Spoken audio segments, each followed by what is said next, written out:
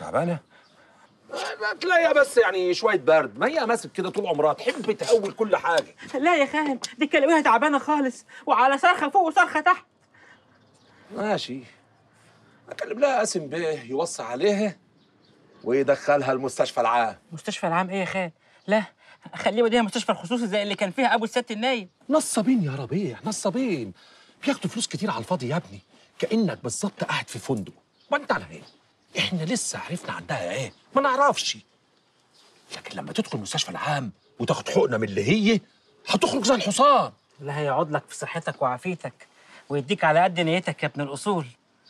الكريم ما ينضم والبخيل يغور.